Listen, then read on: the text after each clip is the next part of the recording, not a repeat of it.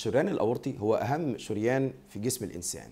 هو الشريان اللي بيتفرع منه آه، شرايين أخرى تغذي الصدر والبطن ويطلع منه الشرايين اللي بتغذي الذراعين والساقين. آه، فيه مرض مهم بيصيب ال- الشريان دهوت اسمه تمدد الشرايين. عشان نتخيل الموضوع دهوت هضرب مثال توضيحي كده هوت إحنا الشرايين بتاعتنا عاملة زي المواسير أو زي الخراطيم. عايز حضرتك تتخيل معايا إنك لو جبت بالونة مثلا وقعدت تنفخها. إيه اللي هيحصل كل ما تنفخ زيادة؟ بطبيعة الحال لو نفخت شوية مش هيجرى حاجة لكن لو نفخت أكتر وأكتر وأكتر عند لحظة معينة البالونة دي هتفرقع.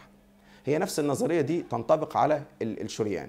هو زي الأستيك والدم ماشي فيه بضغط معين. لو الضغط ده زاد أو الجدار ضعف هيقعد يكبر يكبر ويعمل لنا شكل دائري زي بالونة ولا قدر الله عرضة إن هو يفرقع ويعمل نزيف. فالموضوع يعني الحمد لله إن هو مش كتير مش شائع الحدوث ولكن حدوثه في منتهى الخطورة.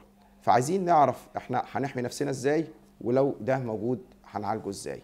هنحمي نفسنا أهم حاجة إن إحنا نحافظ على ضغط الدم بتاعنا مظبوط لأن أكتر سبب لزيادته ارتفاع ضغط الدم بالإضافة إلى التدخين.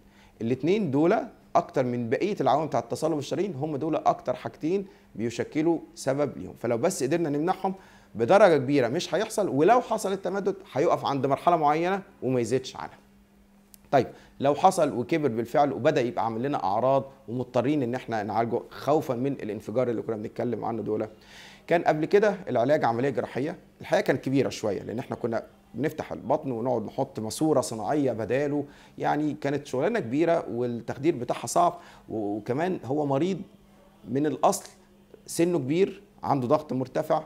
عنده دهون عنده سكر عنده يعني عنده عوامل كتيرة تخلي إن أي إجراء بالنسبة له هو بالفعل صعب.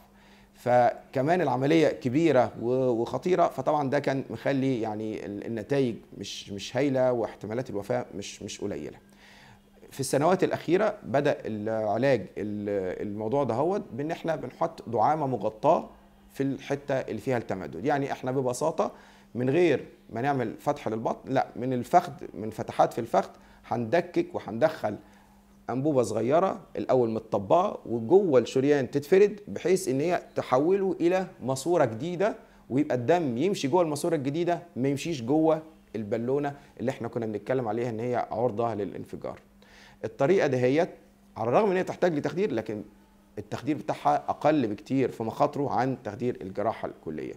والمتابعة بتاعتها بس ضرورية عشان نقدر نتأكد إنها الماسورة دهيت الجديدة أو الدعامة الجديدة شغالة كويس وما حصلش فيها أي مشاكل. آه، ونسب النجاح واحتمالات الوفاة طبعا أقل بكتير والحمد لله.